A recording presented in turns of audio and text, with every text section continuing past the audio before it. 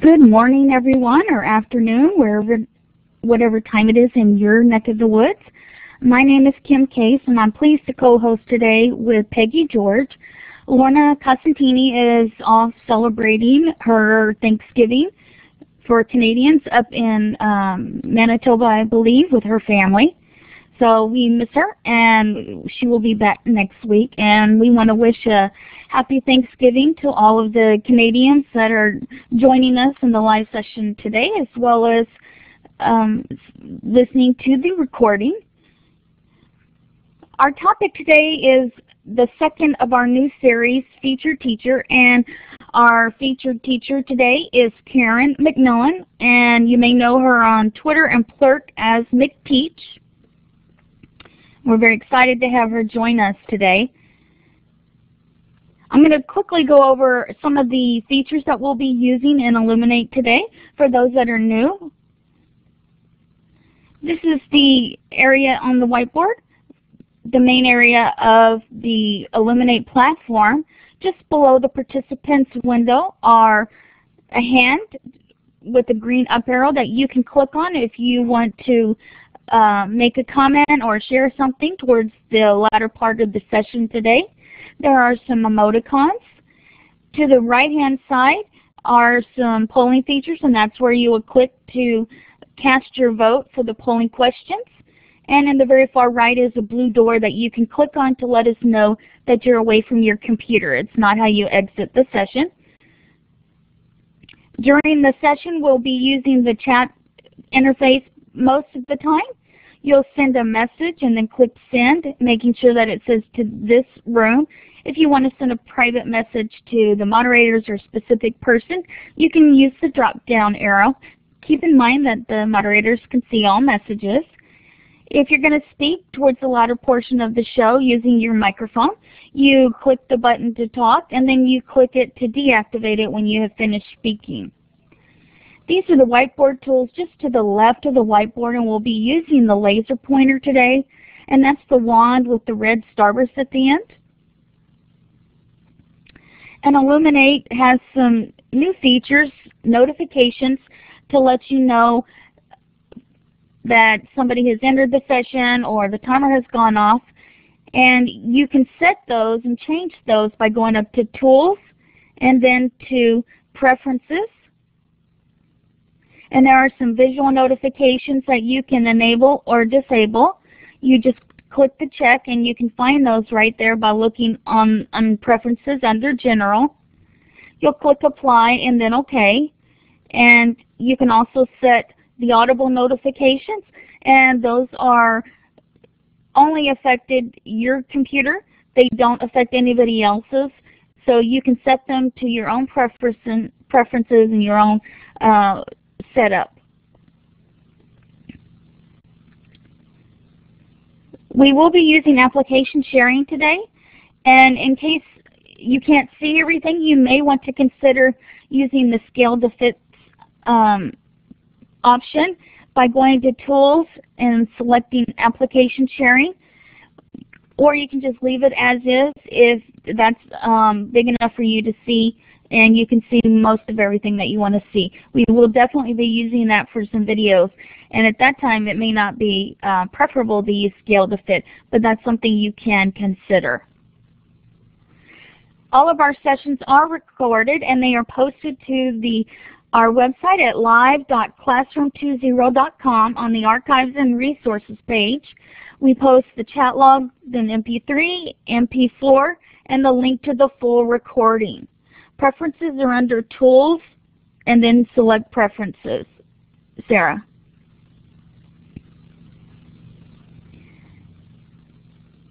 Now we're going to go ahead and do our map activity. And if everybody will click on the laser pointer, which is the wand, the blue wand with the red starburst, and then click on your location on the world map so that we can see where you're joining us from. And I see you're going down in South America. Looks like possibly Asia over. And of course, the United States and Canada. We're so glad that you joined us wherever you're tuning in from. We also have Tammy Moore today providing the closed captioning features for us. And we're so grateful that Tammy does that each week. If you'd like to view the closed captioning features, you can click on the CC up in the toolbar. And um, Peggy, you might be able to answer Sarah's question about um, on a Mac where the preferences are. I thought they were both under Tools, but I could be wrong.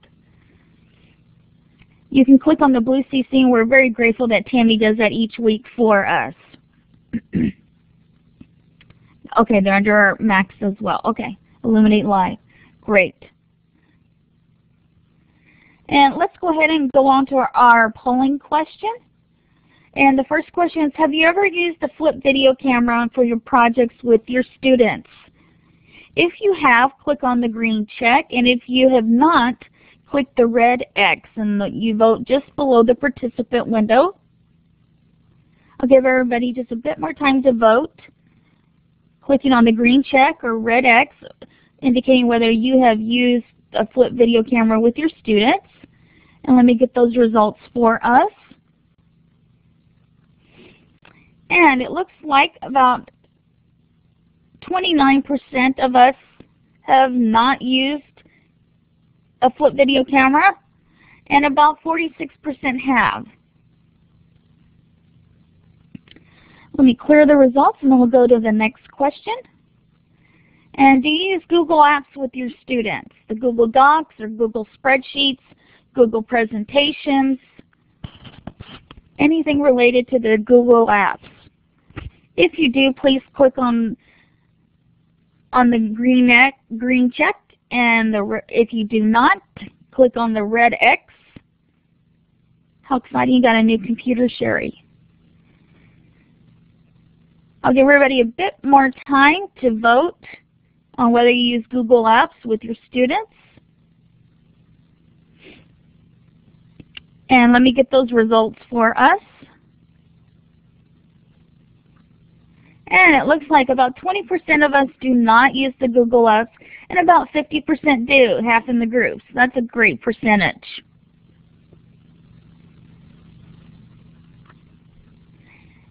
And let's go on to our last polling question. Have you ever created a podcast with your students? If you have, click on the green check. And if you have not created a podcast with your students, click on the red X.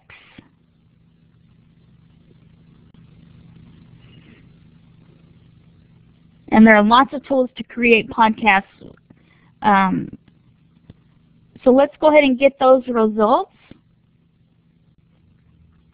And it looks like about 37% of this group is not, and about 33% have. That's an interesting statistic to give Karen some information about our guests today.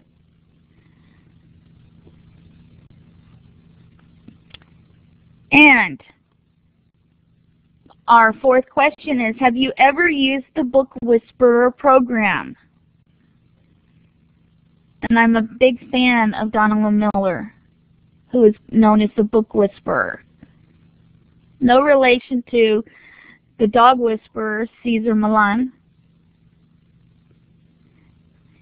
If you have used that program, please click the green check, and if you have not, click the red X. Let me get those results for us. And it's a pretty large majority, 82% have not used that program before. So we're going to be excited to hear about that.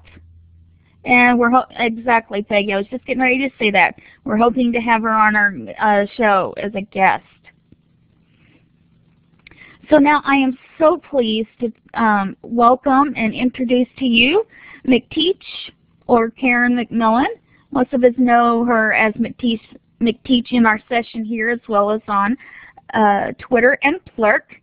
And we're so glad that she, um, she accepted our invitation to join us today in our new series, Featured Teachers, showing ways and ideas for implementing technology projects with your students. So now, with uh, no further ado, I'm going to pass it over to Karen, and thank you so much for joining us today, Karen. Well, uh, thanks for having me, Kim, and um, everybody. Thanks for being here on a Saturday morning. It's uh, a lovely fall day here in California, um, although it may seem like summer in a couple of hours. Um, but I wanted to start by saying um, thank you to Kim and Peggy for giving me this honor and inviting me here to be here today. I, I was uh, blown away that they asked. Um, and still perhaps a little confused as to why they did, but um, moving on, okay. Um, so I guess we'll start with um, a little bit about me, but not too much. I am um, in my fifth year as a teacher, and I teach at a Catholic school here in Northern California. I work with seventh graders for the most part, but I also teach um, eighth grade social studies. I never intended to be a middle school teacher. I had wanted to teach high school, but um, I'm where I'm supposed to be. That's what I uh, say most days anyway. Um, what was I going to say next? I've actually this is not my first career. Uh, I wanted to be a teacher way back in fifth grade, but never really felt confident enough to do it. So it took me about 30 years to get back on track to where I was supposed to be. Um, but ever since fifth grade, sitting in Mr. Fambrini's class, I knew that, you know what, that's what I'm supposed to do. Um, and I finally got here after having a few realizations in life, but that's a whole other story. I thought also I, would give you a, a little background on the, the whole McTeach thing. Um, that's a, a family My brother and my sister-in-law started it actually.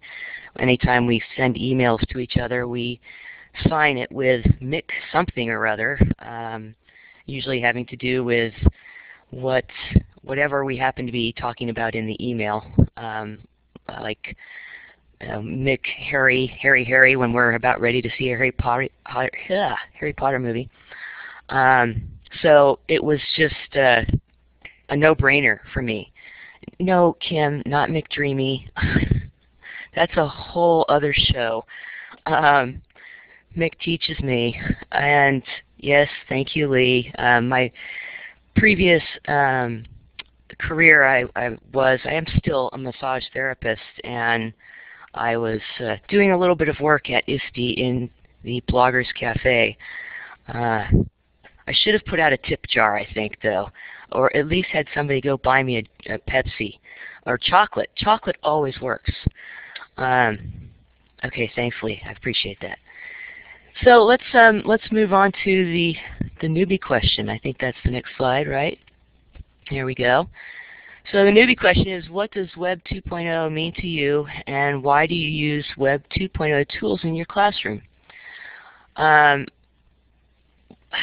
it's an easy question to answer, and yet at the same time, it's a little complicated. So I'm going to go with the easy answer.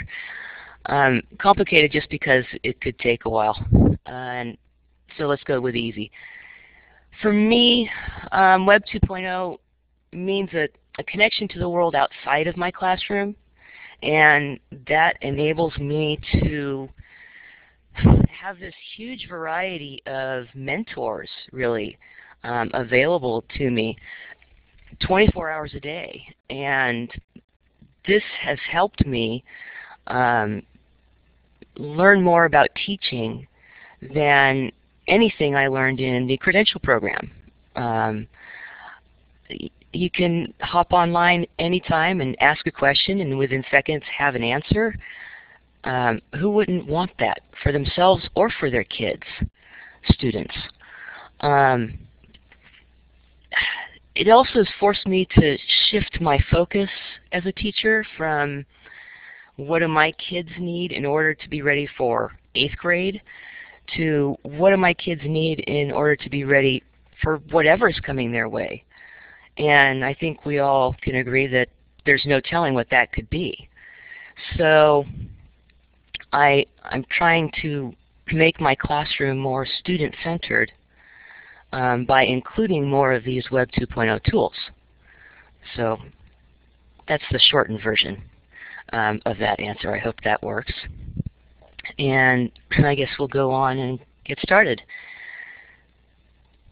So yesterday, I thank you, Peggy. I, I came to school yesterday, and I know this is probably like the the number one rule of present, uh, presenting, not to admit this, but I was nervous. I've been nervous, and so um, when I got here yesterday, I, I just I was honest with my kids, and I said, look, I'm really nervous about tomorrow, and um, so just bear with me throughout the day. I, I don't want to take anybody's head off, but uh, if I do, that'd be the reason.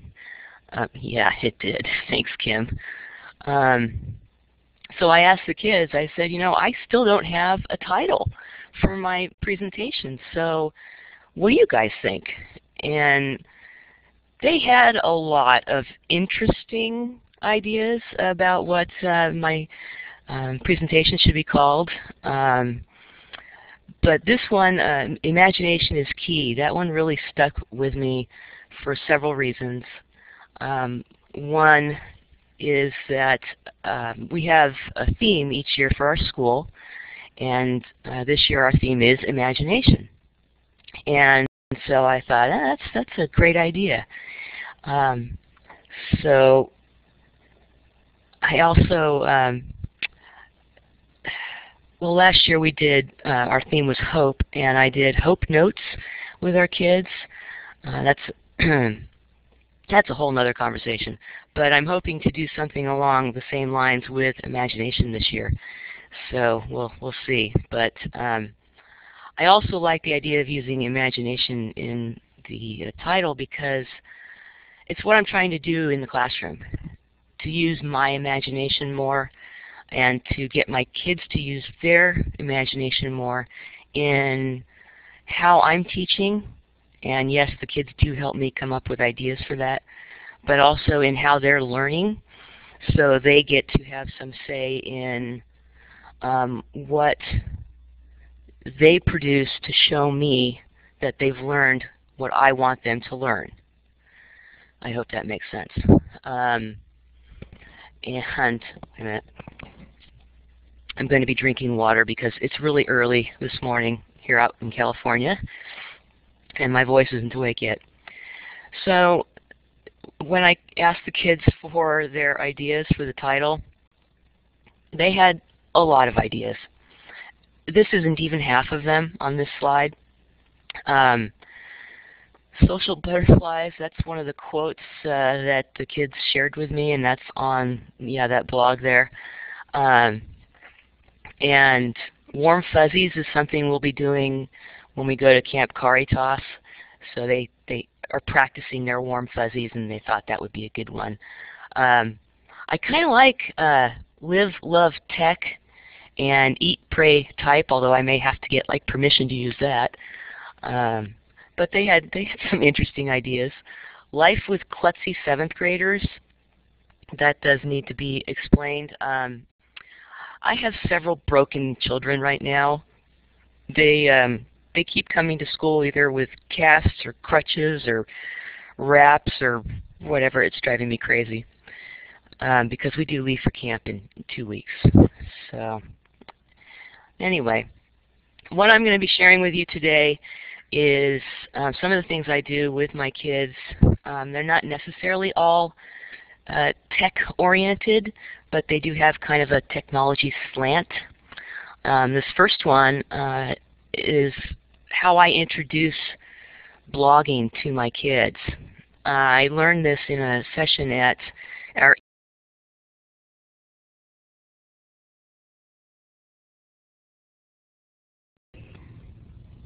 It looks like Karen is experiencing some bandwidth issues regarding her audio, so we hope that um, it will alleviate itself soon. Okay, she must have gotten disconnected, so hopefully she will be back soon. I'm going to go ahead and while we're waiting, I'm going to share the um, our Glam link for our Glamorous co-host, which has a lot of her blogs and websites that she'll be using today. And on her blog, it talks about how she got this idea of paper blogs and the art of commenting from attending a session. Okay, thank you, Karen. Let me uh, give you moderator privileges. And you can take it away, Karen. Uh, sorry about that. It just, in the middle of my talking, it went into uh, reconnecting. Um, I, it's something to do with our server. I'm in my classroom, actually. So hopefully that won't happen again. Hey, it's Tech. Yeah, I know. That's Thanks, Nancy. That's reassuring. Um, anyway, don't know where I was. I'll just move on. So this paper blog activity, um, it's a lot of fun it's one of my favorite activities and the kids love it and it really does drive home um, not just the idea of what blogging is but the important part for me is the commenting and how they treat each other in commenting. Um, I have a class of 34 students this year. Normally I would have 36. But of those 34, 26 of them are girls. So yeah, I'll give you a second to process that one. 26 girls, 8 boys. Um, that's a lot of potential for mean behavior um, in commenting. Cattiness, yeah, that's the word I was looking for. Um, so I I spend a whole lot of time dealing with commenting, but so far that it they're really doing great with it, and I'm really proud of what they've been doing. But let's um, go through the steps here. So yeah, step one, let there be rules. It's um, before we even talk about the activity itself, I go through what I expect of them um, in terms of um, blogging behavior. And they will take home this uh, contract that you see a, a screenshot of, um, after we've read through it in class, they take it home and they have to read through it with their parents and sign it, both the parents and uh, the student. Um, and it's just a, a list of, you know, how I want them to behave, how anyone should behave really online. Don't use um, their last names, don't post pictures um, that would be considered inappropriate.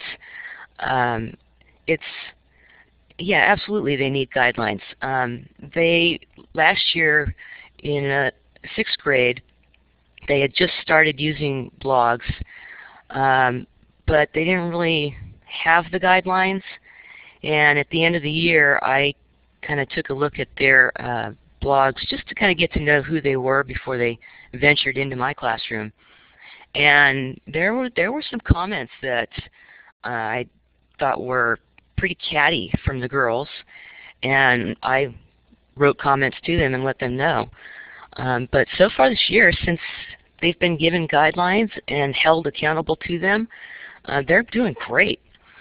Um, so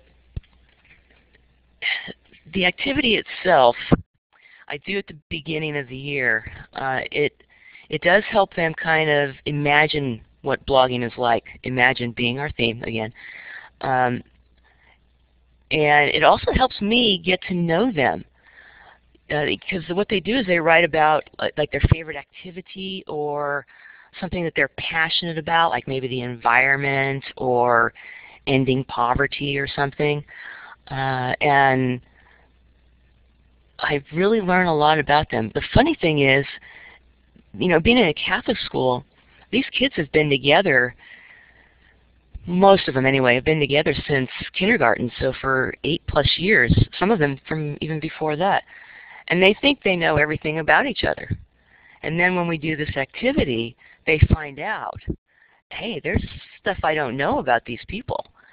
And uh, it's a great uh, moment for me to say, yeah, so maybe they've changed, and maybe we shouldn't pigeonhole them into this idea we have of them um, from the last, oh, there we go, um, eight years. So what are we doing? Did you do that, Peggy?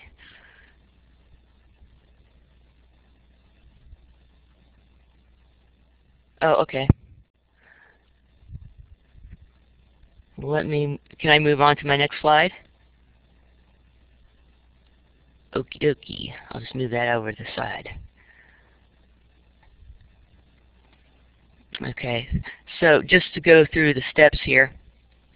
Um, before we do the actual creating of the blogs, they have to do um, a homework assignment.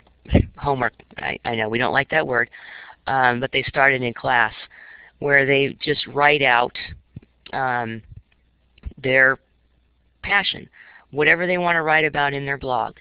And I have them do a rough draft uh, before doing this final draft that we'll use in class because I tell them all year long a final product should not have pencil on it. Um, pencil will smear, it gets messy, and um, it, it just doesn't look as finished. So they go home and finish their writing, and then the next day they come in, and I give them a piece of heavy, um, like cardstock kind of paper, and then they create these um, blogs. And I, honestly, I I'm every every year blown away by some of the things that they come up with. It's it's gorgeous. This is beautiful. Um, I think I have a few more in here. So yeah, step three, they create their blog, and I don't tell them that it has to look like a blog. Um, but this is middle school, and they're very excited about being able to do some blogging. So of course, when you're a seventh grader who's excited about blogging, um, you, you make one that looks like a blog. So I, I find that entertaining, um, and they enjoy it. So why not? Um, but the most important part is yet to come, and that's that's the commenting. And we spend a, a good amount of time going over how to write a proper comment. Um, that's what we'll be using for the comments, the little yellow stickies.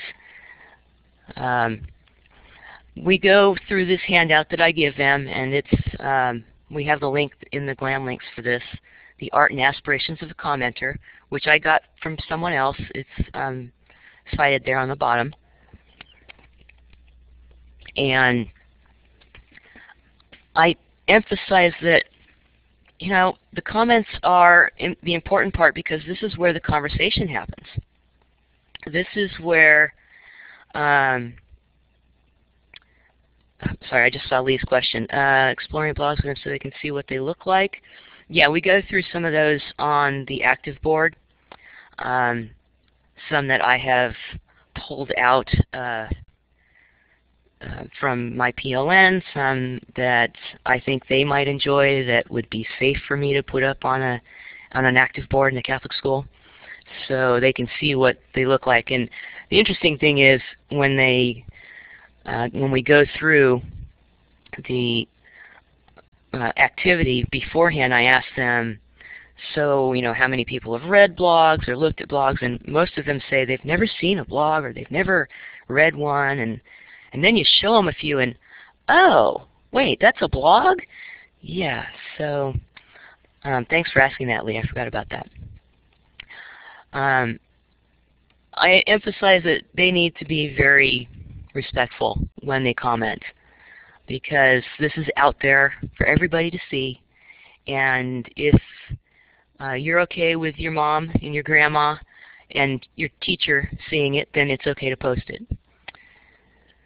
Uh, and before we start, here are the rules for the activity itself. This is when they're going to be wandering around the room.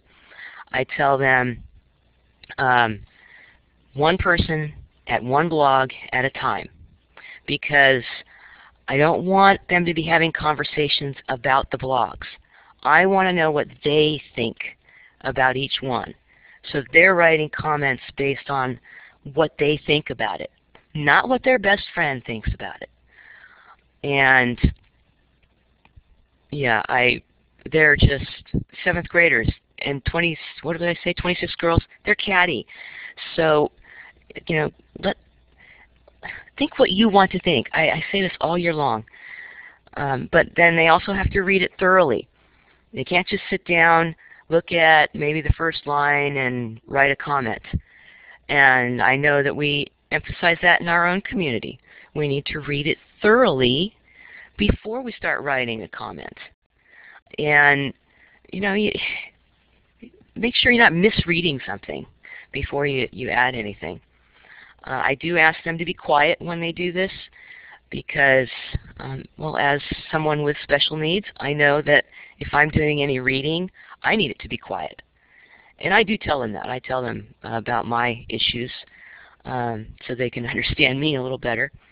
But then I tell them, have fun with this. Enjoy it. Um, and they do. They have a lot of fun. But this is um, a shot in the classroom. It, it, it's perfectly quiet for 30 to 45 minutes. Um, they'll go as long as I let them go. But I was amazed. They, they never um, stopped and chatted at each other or um, you know, no giggling or laughing or, you know, did you see that? Uh, it, it was awesome. And this is them just writing comments on a little 3 by 3 note paper, uh, a sticky note, and adding them. And then I did tell them that if you want to comment to a comment, you do the same thing. You address the person who signed the previous comment, and then um, attach it directly to that post-it note. And so here, here's one um, that's after they've turned them all in. I took pictures of every single one, so I just have a few I think that I'll share. Um, another shot of the classroom while they're um, doing comments. It's just, it's so much fun to watch them do this. Uh, they're so creative, and I did, I do read all the comments um, after they turn them in. And if you want these photos, anybody can have them. Um, I'll uh, I'll upload them to Flickr later today. Um, but oops, let me go back. That's about it on the um, paper blogs activity. If anybody has any questions, um, I can take them now, or I can move on to another favorite uh, subject in my class. Okay, that'd be great.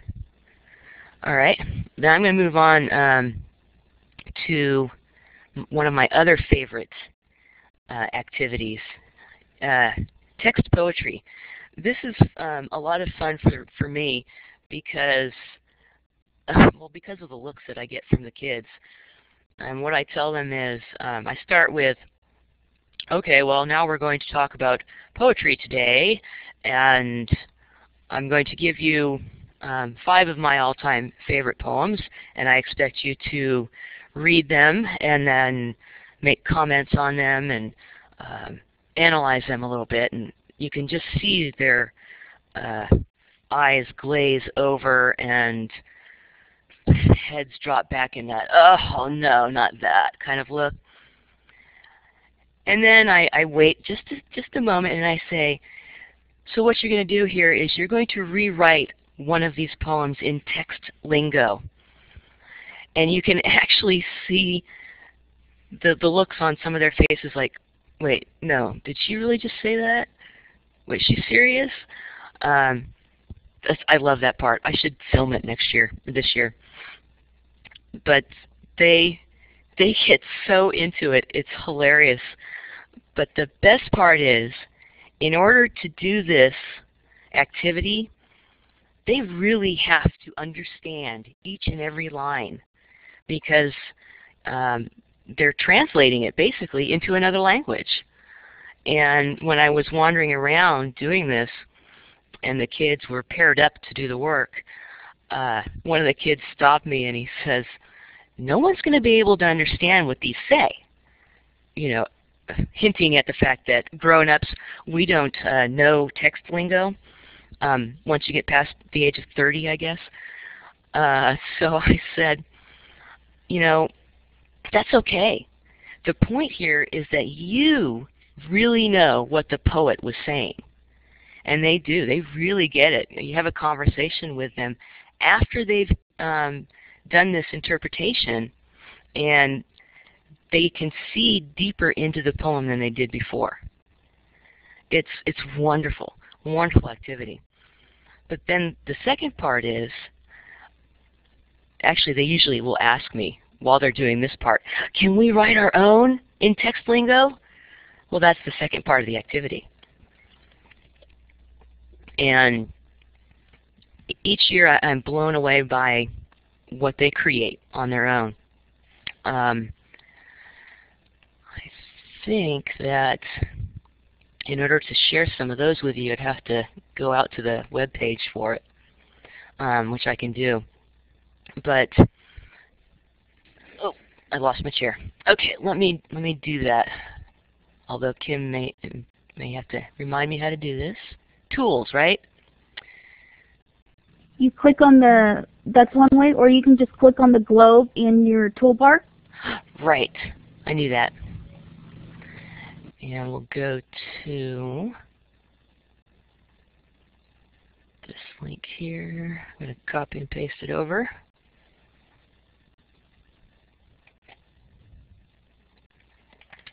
Okay, so this is um, my notes from McTeach blog, and these there's there were two posts about text poetry. This is the second one, and it has a lot of the um, the poems that the kids actually wrote in text lingo. Uh, the first post um, has a poem that was written by one of my special needs kids last year, and I mean I actually cried when I read it. It, it was just amazing. You know, someone who has trouble writing four or five word sentences came up with this unbelievably beautiful poem. Um, and you, if you've not been in this, the Elluminate and through a web tour, you'll need to scroll down on your own here to um, see more of the poems. Um, and they're they're on the blog, so you can read these anytime. But they they love they love doing this, and it gives them their own voice. Um, so it, it's it's really easy to do. Yeah, I know they add the smileys. Um, and honestly, my, my, my teacher, my grammar teacher inside me, when I saw that said, oh, you know, do we have to have the smiley? But then I, last year I had to let go of a lot of things. And I just took a deep breath and went, went on with it and decided, you know what, that really is kind of cool. So any questions on the, this text poetry um, session, their lesson? It's really easy to do. Um, otherwise, I'll move on. Uh, yes, definitely authentic writing. Um, beautiful. Thank you, Peggy. Okay, so next is something that we've just started doing this year, and um, over the summer I read this book, uh, The Book Whisperer, along with another one of our teachers who actually recommended it to uh, me. And it, it's just totally um, changed the way I think about teaching uh, literature, uh, especially with middle school kids. Um, if you haven't read this book, go out today and get it. Or hop on Amazon and get it. It's a very quick read only because um, you don't want to stop reading it.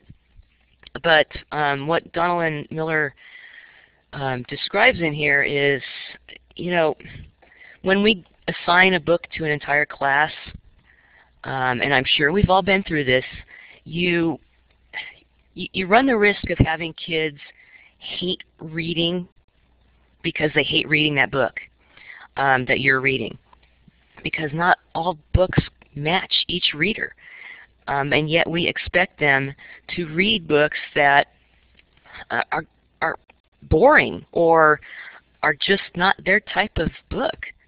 I mean, ask yourself as a teacher, in your own personal reading life, would you read something that um, you found dull or, you know, you're not the type to read a romantic novel, but you've been assigned one? Not that I would ever assign something like that, but um, this lets the kids choose what they read. And by doing that, you help them learn to love reading. Um, there's there's more empowerment here because they're taking responsibility for um, learning to love reading and making choices about what they read. Yes, I will help them with choices. I will encourage them to read uh, at least at grade level, but in most cases above grade level. Um, I will encourage them to step outside of you know, the same genre all year long. Um, but the idea is that they read 40 books in one year. That's 4-0. And it's all their choosing. Um, and we do silent reading every day. The picture there uh, on the left is um, my seventh grader, Stephen, who decided when we went into the prayer garden to read that he would sit in the middle of the path. And I asked him about that later, and he says, yeah, um, it might not have been the best idea. It wasn't really comfortable. So maybe next time Stephen will be the first to grab one of the benches. Um, but one of the one of the things, honestly, that I love the most about this um, being a, a, book whisperer at school is uh, the teacher is supposed to read at the same time that the kids do. So you're modeling your love of reading. So I get to read now on a consistent basis, 15 minutes a day at least. Um, so I'm I'm thrilled with it. There's so much more to this program um, that it, would take at least another whole episode of uh, this webinar. So um, how the question I, I, get is how do you know that they're reading these 40 books? And we do a lit response journal, and they, um, yeah, I'm, that's where I'm headed, Peggy. Thank you. Uh, they uh, have to log in their books onto my um, website. Can we? Can I bring up the seventh grade website? Or did we decide I wouldn't? Okay. I don't have that.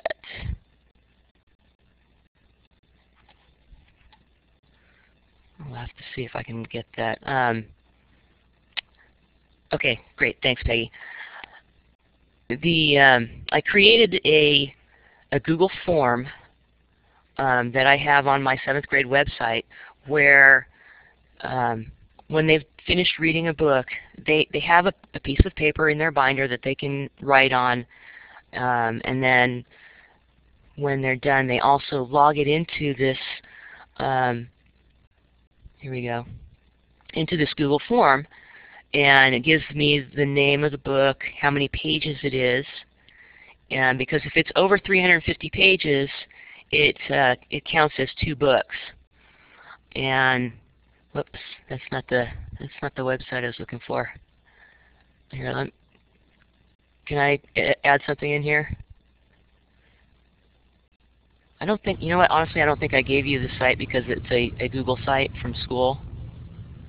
Okay, so, you can just type it in the address bar of the web tour. I'm not sure it'll open, but we'll try it. There it is. Okay, cool. So this is the seventh grade website that I created for the kids. Whoops. It just like really minimized on me. Uh, okay. I'll add it and, you, you keep look, talking. It's going. It's there. I have it. Okay. Um, if you look on the left-hand side, there's a, a link called Reading Log Entries. I'm going to click on that. And what they do is they come here to this Google form. Can everybody see that? You can't see it? Oh, you do. Okay. Keep talking and I'll Okay. load it in um, app sharing. Okay, thank you. Um, so anyway, it, it's just a quick Google form. Very easy to create and um, actually Len, I can't, it's behind our server. Um, it's password protected. I think that's the Yeah, problem. you'd have to. Yeah, Yeah, okay, sorry about that. that's okay. Uh, okay, so it's um, it's really easy for me to keep track of what they're reading, how much they're reading, and then they also have to give me a quick review on the book itself. Um, so that's pretty much it for the reading logs for me. Um, think that's pretty much it for Book Whisperer. Um, any questions on that before I move on?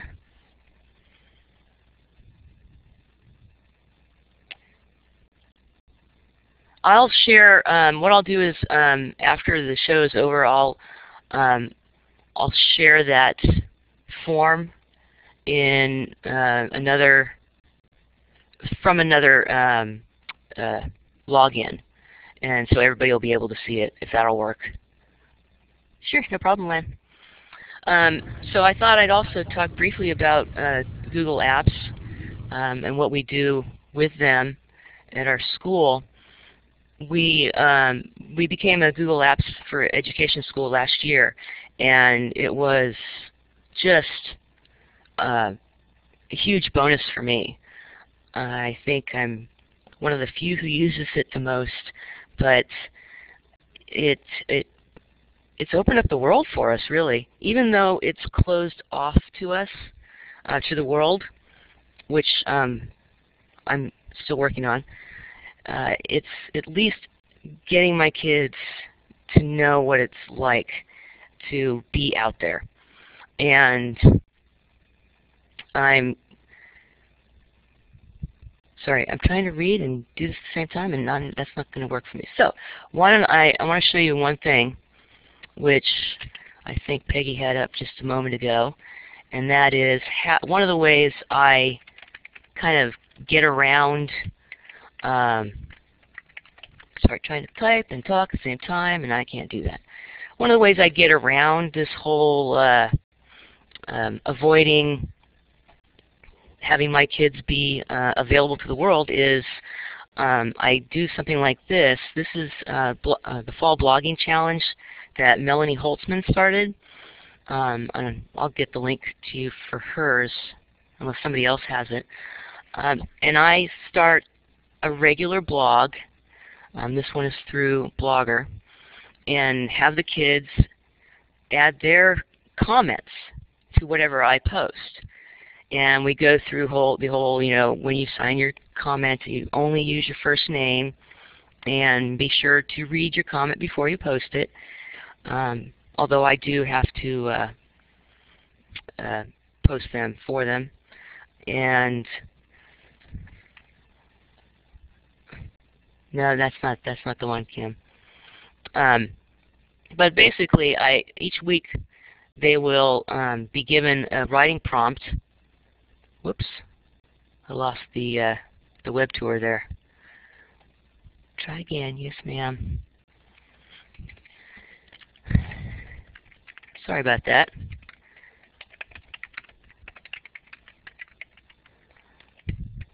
Okay.com. Um, it wasn't? Hmm. Can you see the web tour now? Okay. Okay, great. Um, so I created just a whole new blog where I'll post each week my response to um, the topics that I post. They're a little bit different than the ones that Melanie came up with because I wanted them to be geared more towards um, my kids, of course. Um, and then, seeing a blank page. Huh. Okay, so Kim, everybody seems to be seeing a blank page.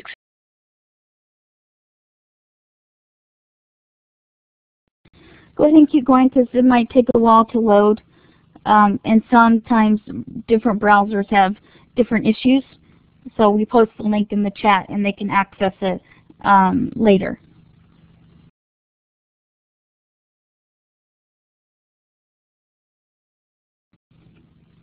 And it looks like um, Karen's having some difficulties with her audio again and just got disconnected. And Anja, did you have a question or a comment that you would like to? Um, okay, Karen's back. Great.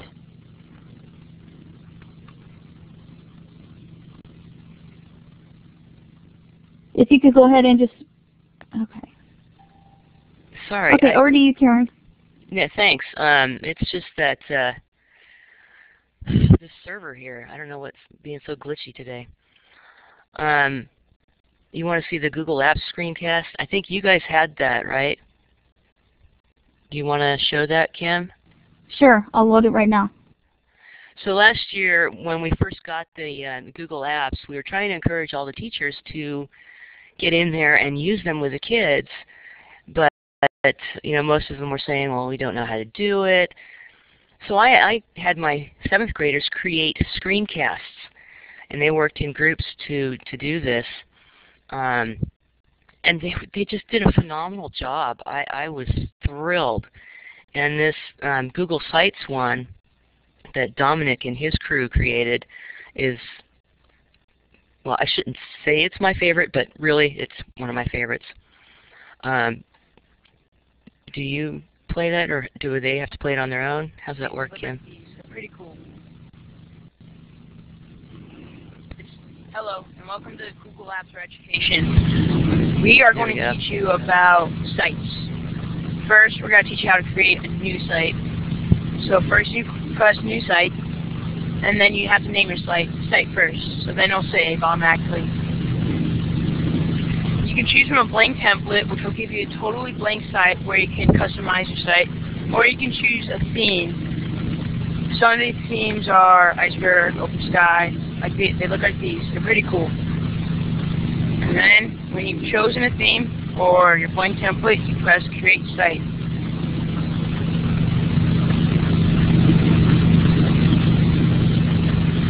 When you have your site here, there are a few links up here. Create page, edit page, more actions. Right now, I'm going to teach you how to edit your page.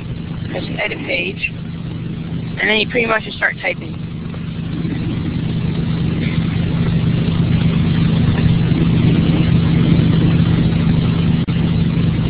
When you're done with your changes, you have to press save, otherwise your changes won't be saved and you'll have to redo what you just wrote. Now, and to create a new page off your site, you press create page. There are a few options that you can choose from. Start page, list, file cabinet, announcement, or web page. Right now, for our purposes, we're going to use announcement. Name your name your site or your title of your page. And you put it under home or top level. You can also choose a different location, which if you have more pages off your site, you can choose one. Right now we're going to put it under home. And then when you're finished, you press create page. On announcements, you can press new post. And from here, you can write what you want. So you title your post, and then you write.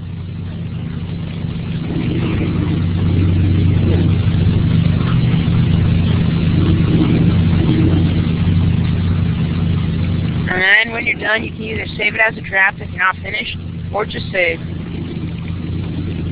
So if you want your site to look cool and colorful, press more actions, and then manage sites.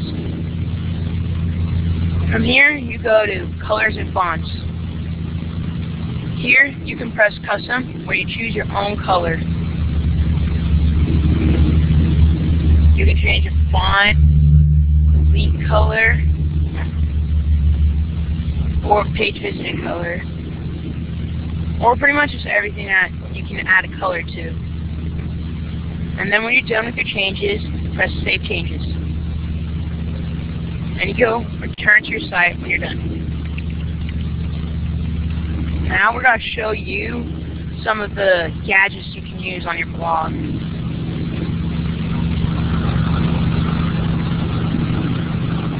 Okay, so we have announcements, which we already showed you, where you can blog. A file cabinet, which is a great way for mainly teachers to organize data. Same for the list. It's just like, you know, listing what you've done, other stuff. And then the start page.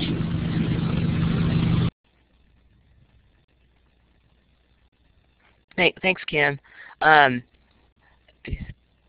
the the best part of that uh, web uh, screencast, excuse me, um, is a little bit later where he talks about um, how to write comments.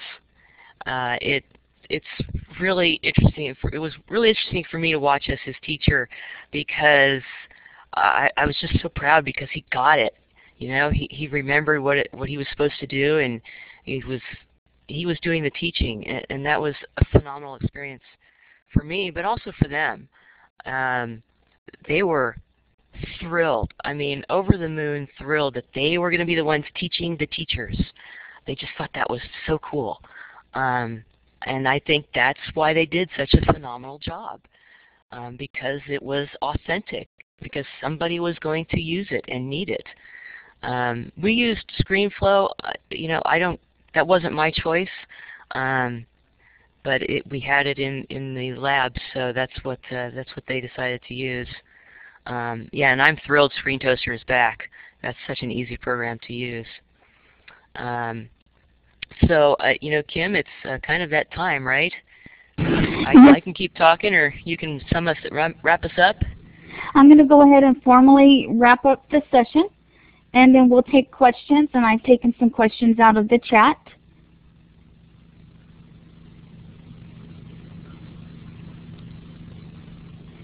And okay, there we go. And we want to let you know that on Tuesday, October 12th, Steve Hargadon will be interviewing Sylvia Martinez at 5 p.m. Pacific and 8 p.m. Eastern. And we hope that you'll join Steve. And then on Wednesday, the 13th, Steve will be interviewing Roger Schank at the same time, 5 p.m. Pacific and 8 p.m. Eastern. And then on Thursday, Kathleen Cushman will be leading the student panel on homework with Steve Hargadon as and on his interview series at Thursday um, at 5 p.m. Pacific and 8 p.m. Eastern. And we hope that you'll join Steve for those sessions. And next Saturday at the same time, Matt Montagne will be joining us from EdTech Talk. And he will be talking about project-based learning and design thinking for students in grades kinder through all the way through college. And he's a phenomenal teacher out in California We've had him on our show when he was talking about his student radio program. So we hope that you'll join us then as well. And then on the 23rd, we won't be having a session so that we can um, support the DEN Discovery Educators Network, the fall virtual conference. So with it, um, you can you won't see us that day, but you can have a whole day of great professional development provided by the DEN. Again, next Saturday, October 16th, will be Matt Montagne. And as soon as you exit the session today, a survey will open in your browser, and we hope that you'll give us great feedback and information about today's show, as well as future topics you'd like to see, and the elementary teachers that you would like to see on our future featured teacher sessions. You can also request a professional development certificate. And if for some reason you forget to do that on the survey or the survey doesn't automatically load for you, you can email us at live at classroom20.com and give us a few days for us to get the results back from Elluminate and Peggy will send that out to you. And she's the one who created the certificate and takes care of that. And we thank her for that. She does a phenomenal job keeping up with that. She also helped us secure an iTunes U channel through Arizona's Ideal e-learning platform. And to access the channel directly in iTunes, you can go to tinyurl.com slash CR20Live iTunes U and that opens directly up in your browser and it opens up iTunes. And then you can download and subscribe to the MP3, the MP4, and the chat log and take us with you wherever you go. And we want to give a very special thanks to Karen today for joining us, as well as to Steve Hargadon, who is the founder of Classroom20.com and Future of Education and many other social networks and online adventures. And we want to thank each of you today for joining us. And we understand if you have to leave, but we hope that you can stay. And especially to Elluminate and Learn Central so that we can meet and discuss all of these things each and every week. And you can find out more information about the Fall Virtual Conference by going to discoveryeducation.com, Christine, and it takes you directly, um, and there's information on there about the, the webinars. Yes, thank you, Paulin. It's uh, October 23rd. It starts at 9 and goes all the way to 3 back-to-back -back sessions from various presenters as well as teachers implementing. And you don't have to be a subscriber of Discovery Services to use those things. You can um, just you can use the things that are free and accessible on the site if you're not a subscriber, if your campus doesn't, of Discovery Streaming Services. And Lee, did you have a question that you would like to um, ask or make a comment? I guess Lee had to leave because I don't see her. So Karen, I'm going to pass it back to you, and I'm going to. Um, Randall asked earlier, do you take comments down that don't follow the rules? Do I take them down? Um, or actually, remove I, them from the blog? Um, what what we do, is there are um, three possible consequences for um, improper or inappropriate comments, um, and they're on the back of that blogging agreement. Um, the, I make I make the kid, uh, the student, take it down if it's inappropriate. Um, I mean, I have I can if I if I need to, I will take something down after I take a screenshot of it. Um, but I want them to be the ones who take ownership of the fact that, you know, this was not okay and um, I'm taking it down because I made a mistake. Um, but yes, they do have to take those down if it's inappropriate. Uh, fortunately, uh, in the, the two years that we've been doing this, um, I've only had to do that once. And they do also lose their um, Google privileges um, for you know at least a week. It depends on what it was. If it was just something, you know, excuse the word stupid, um, like this was last year, we just he lost his privileges for a week. But if it's if it if it's really inappropriate or um, mean or spiteful, uh, they could lose their privileges for the whole trimester or the, the rest of the year. It really depends on the severity of it. Does that answer your question? Great, thank you. And those consequences are important. Mm -hmm. And uh, Lee asked earlier, do the students enter their information from school on your uh, reading log? Like from the school or at home? Um, either. Um, I only have one student this year who does not have access from home. Um, and that's more about um, a parental choice. But they can they can enter it whenever they want. Um, most of them do it from home, but occasionally, if um, when, like when we're in the computer lab, I'll tell them, okay, if you get done ahead of everybody and you have time, um, and you have some books that need to be entered, please do that. Um, and we, they usually do that on Mondays when we go to the computer lab. Um, and I have six beautiful iMacs in the back of my classroom, one of which I'm using right now. And awesome. I know. I we just got these at the end of the year because they replaced the uh, the computers in the computer lab. So yes, very lucky, very lucky. Um, Romeo and Juliet in text. Interesting. Okay. That would be I have to interesting. see that. Yeah. Do you let the students use text language on their blogs no, I don't. I don't. Um, they they do that enough, and I I Yeah. explain that you know it's this is this is for education. This isn't you talking to your best friend, and I I want them.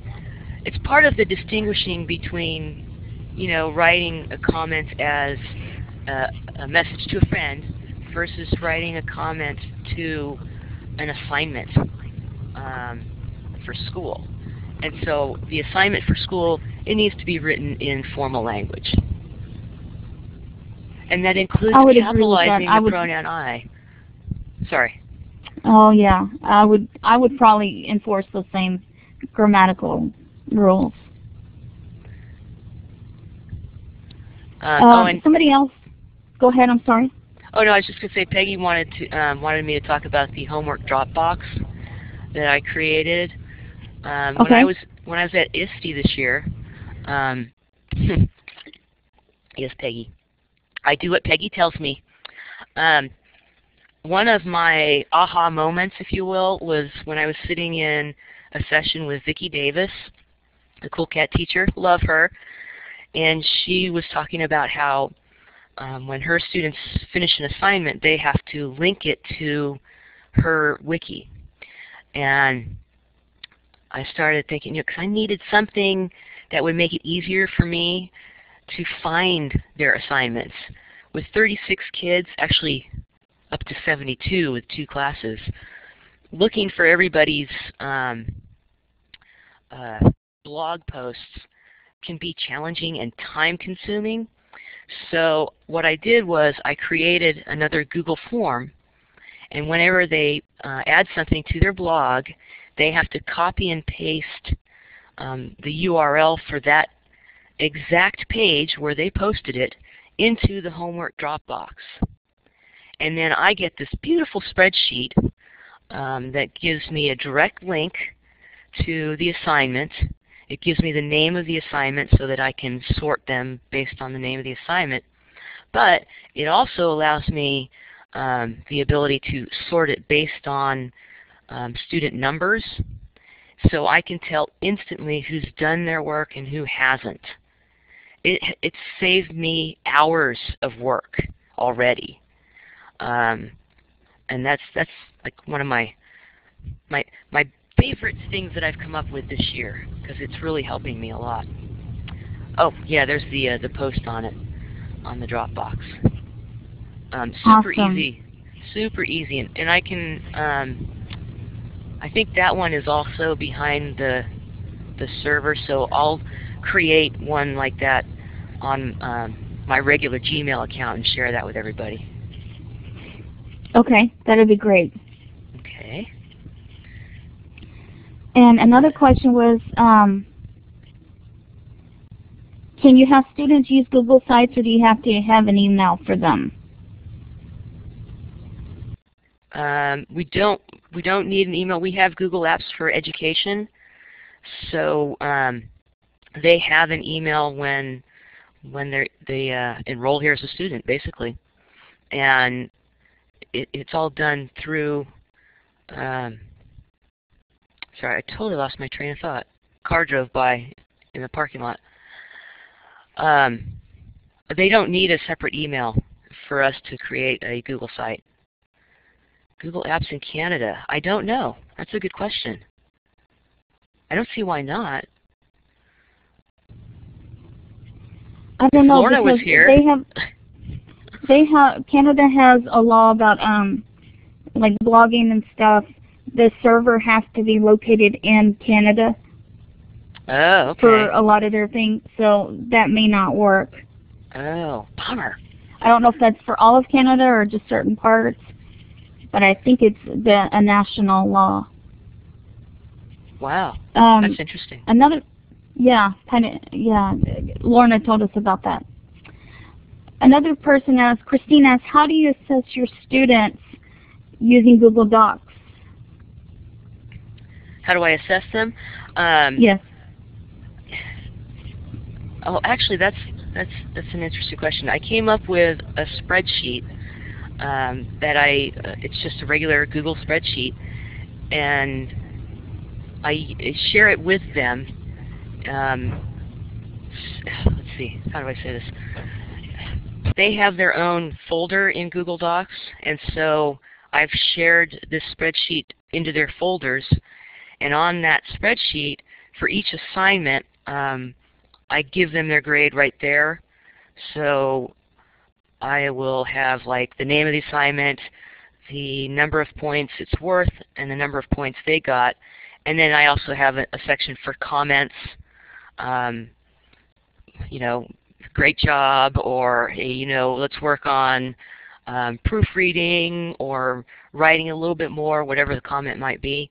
And so they see it pretty instantly.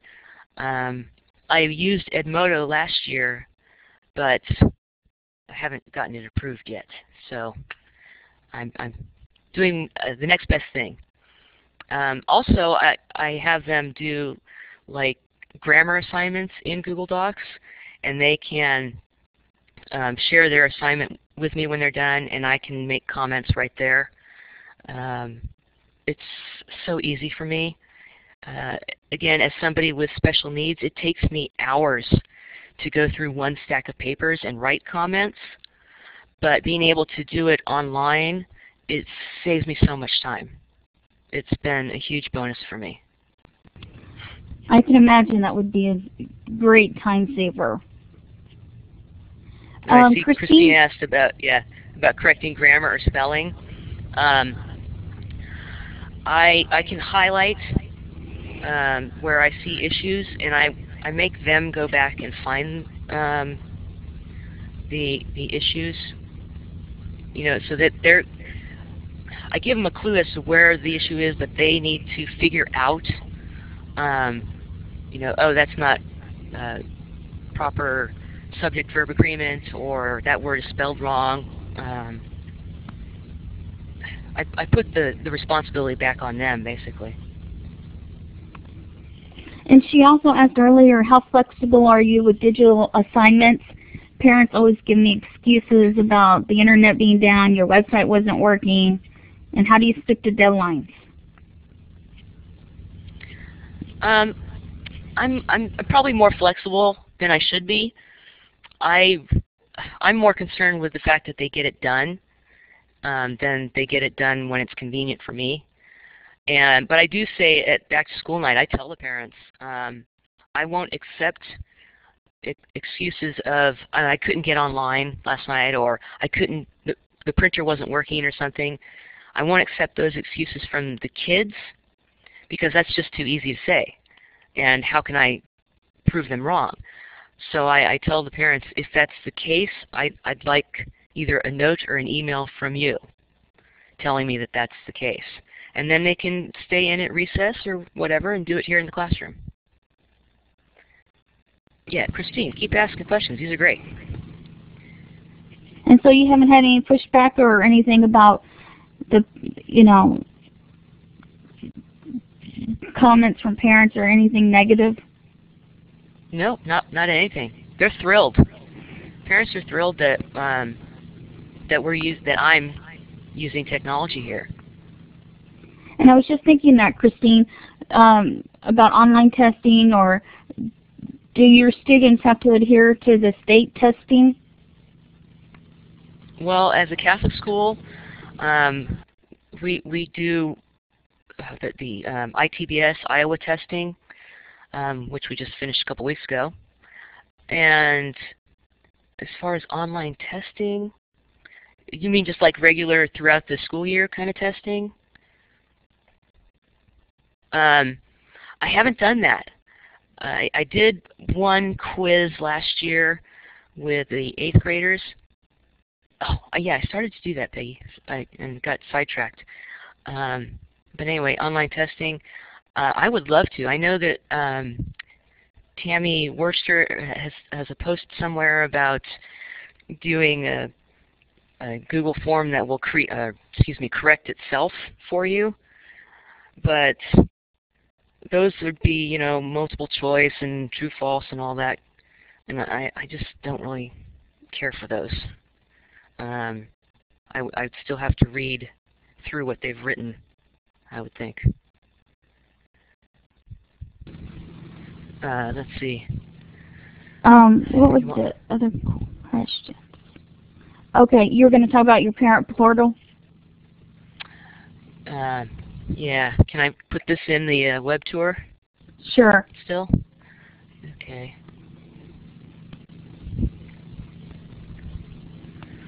So this is, um, let's see, is it coming up for everybody?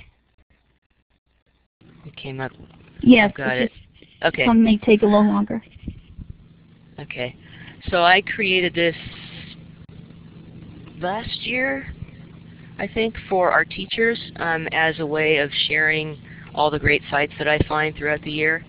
Um, to be honest, I, I think I may be the only one who uses it, so please, if you see this as, as being of any value, please use it, pass it on.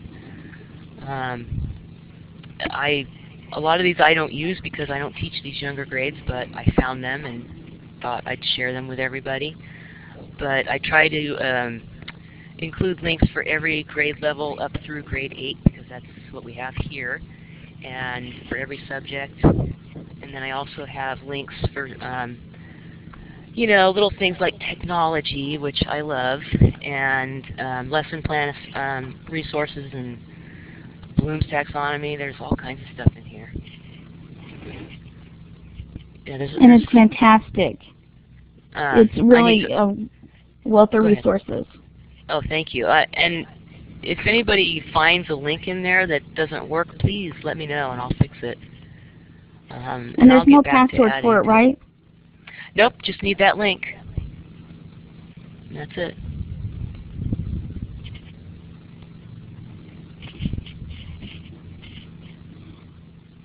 Okay. And Peggy asked earlier about what did the kids say about the book whisper?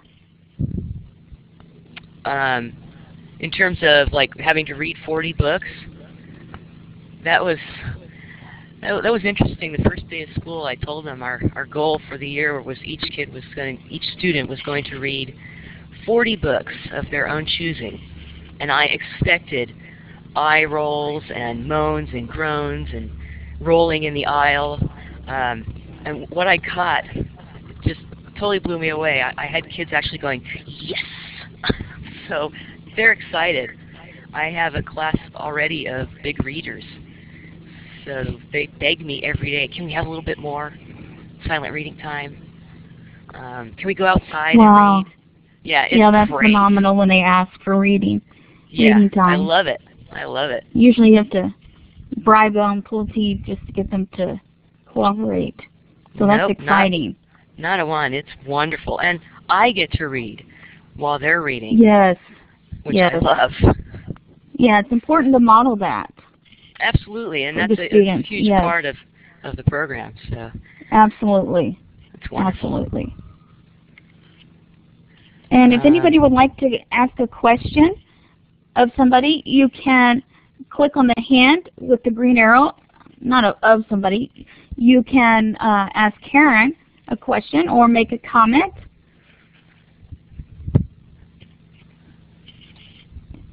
Now, uh, Reba, this is the website. It's guest.portaportal.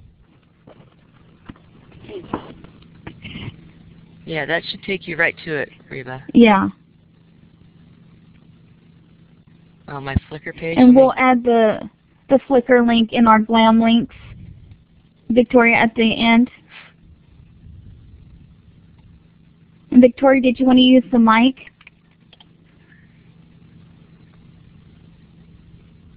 Or was that your question? Okay, we'll add that to the Glam link. So be sure and watch for that. Yeah, I'll upload um, some of those pictures uh, of the blogs, those paper blogs. And, And you're McTeach on at Flickr, right? no, I'm not. Um, Oh, I, I actually was just getting that link. I'm at CTK McMillan. Although I think I did make it so that if you search for McTeach, you can find me there.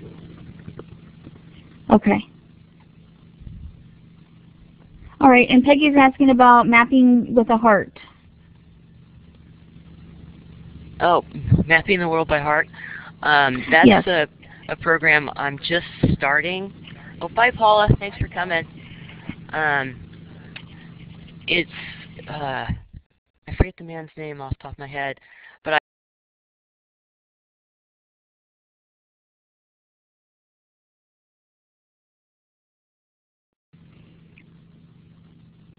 Yes, Victoria. Karen is definitely inspiring. You can see why we asked her to join us today. And she was just talking about the Mapping the World by Heart, which is a FableVision product. And Peggy has put in the link that you can get more information regarding this, uh, the project using their software and their website. And the idea was uh, posted here by Peter Reynolds of FableVision. Bye, Maureen. Thanks for joining us. Take care, Sarah. And Peggy's put the link in here. And Karen can finish talking about this project.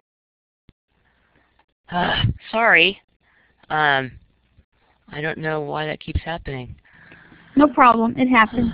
Um, so, like I said, I'm still just getting to know the program, but it comes with this binder that's filled with lessons um, that go from, you know, the basic lessons of um, latitude and longitude to the more specific lessons about each of the continents and countries and such. Um, but it's just, it's a, a phenomenal way to, to get the kids interested in geography, not to mention learning more about it. Um, and I'll have to uh, I'll have to keep like posting uh, to the blog as we go, um, so that I can share what we're doing. Um, it, it's it'll be a learning experience for me all year long. So that's that's about all I can tell you about the program. So far, anyway. And it's very reasonably priced. It's like 70 Mhm. bucks for 17 maps and the binder of the activities and suggestions. Yeah, it's not expensive at all, and you and it comes with all of the lesson plans that you'll need for the entire year, and they're very easy to do. Um, we did. And of course, he has great graphics and hmm fantastic ideas. Oh yeah, yeah, yeah, yeah. And of course, you know, you can change them up. Like I, I changed one of them from. Um, oh, it was the they wanted you to have each student have a uh, a grapefruit, and then to use a knife to cut the grapefruit, and that's one of the ways to Mm. explain the um, uh, the Mercator, the projection maps. And I just thought, you know, Mhm. putting um, knives into the hands of 34 middle school students, I didn't think that would be a good idea. So, um, No, not with their no. hormones and mhm. Attitudes. Yeah. And, So we used balloons, and and that was a lot of Oh. fun. Un until one of them popped, and then everybody screamed. But yeah, I, I bet. it was fun. Thanks, uh, for joining us. Um,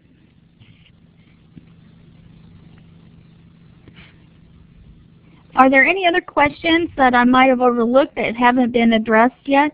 If so, please um, type them in the chat, or you can click on the hand with the green up arrow before we let Karen go and enjoy the rest of her Saturday. I, I want to give everybody a chance to ask questions. And geo teachers, um, Karen? Yeah, um, this year, over the summer, uh, it was quite a professional development summer for me. From my first trip to ISTE to um, going down to the Googleplex twice. Uh, the first time was for the Geo Teachers Institute, um, and we learned a lot about how to use Google Earth and Google Maps and SketchUp with students.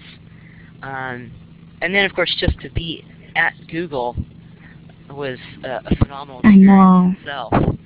Um, I, I I told my, my students this story. They love it.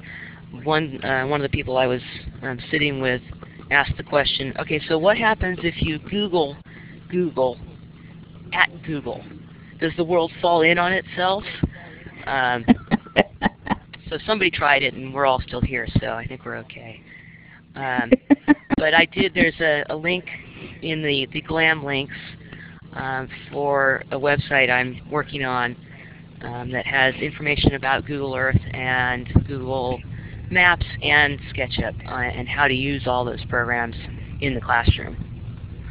Um, so hopefully that'll that'll help people that want to learn more. Um, Definitely. it was phenom a phenomenal experience. I mean, how many people can say that they learned how to use Google Earth from a volcanologist? You know, we had Oh we had two of them there, so pretty cool. Sorry, I'm starting to Wow, ramble. that's right from the expert. that's okay.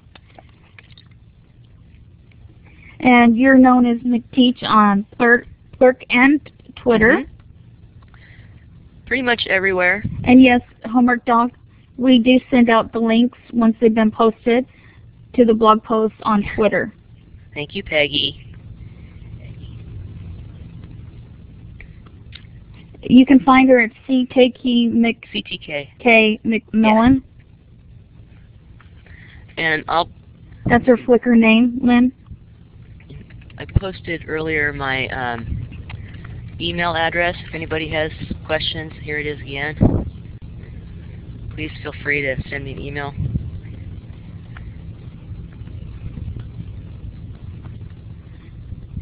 And it looks like our questions are winding down, so we're going to go ahead and let Karen go for today. You can email her if something comes up or you think of something after we close out the session today. And we hope that you'll give us great feedback and some information on future shows that you'd like to see on the survey when the survey opens for you as you exit the session. And please join us next Saturday when we're going to have Matt Montagne on and he's another teacher and you'll learn some great practical ways and he's also using Google Apps for education. So I know he'll be talking about that. This is their first year of implementing it with their students. So you'll want to join for that as well. So have a great Saturday everybody and a great weekend and happy Thanksgiving for those up in Canada and we will see you next Saturday.